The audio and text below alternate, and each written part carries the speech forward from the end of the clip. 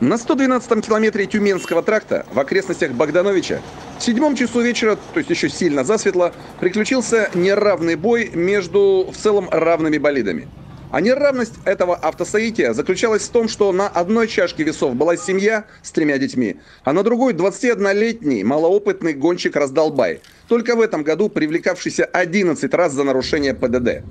Декорация такая. Семья, 45-летний папка, 41-летняя мама, 9-летняя дочка и два сынульки-роднульки 7 и 2 лет от роду отдыхала на даче в селе Волковском, что в Богдановичских краях. И ближе к вечеру поехала к себе домой в Сухой Лог на японском подорожнике Honda Integra. Двухлетний малышоныш был в детском удерживающем устройстве, все остальные члены большой многодетной семьи были обременены. Люди ехали домой, с огорода, соблюдали правила, ничто не предвещало, как казалось. Но всегда в жизни есть место неожиданности.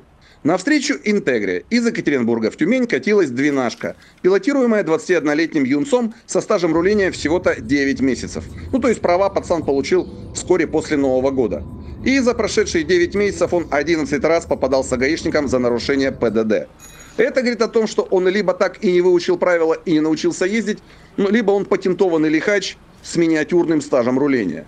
Под Богдановичем гонщик на Двинахе пошел на обгон, выскочил на встречку и нос в нос вонзился в интегрированную Хонду с многодетной семьей. 18 часов 30 минут на 112 километре Екатеринбург-Тюмень.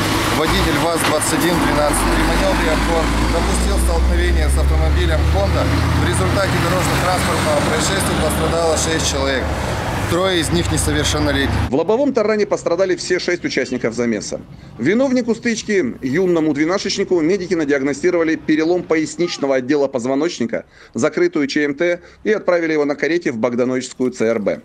Водитель-родитель в Хонде получил перелом плюсневой косточки, ну, затаившейся в стопе, и ушиб груди. Его жена при внезапном ударе сломала ребра. Двухлетнему малышонушу врачи диагностировали перелом бедра. Его семилетнему брату сотрясение детского мозга, ну, а их старшей девятилетней сестренке тупую травму живота.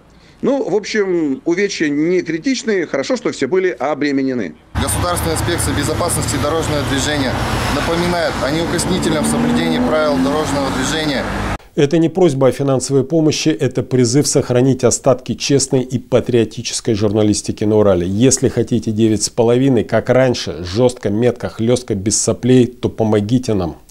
Станьте нашими спонсорами.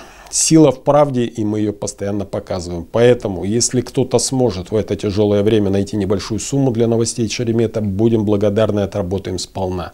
Просто нажмите в нашем профиле кнопку «Спонсировать» и следуйте дальнейшим указаниям и инструкциям на экране. Заранее спасибо, ребята. Вместе мы выстоим.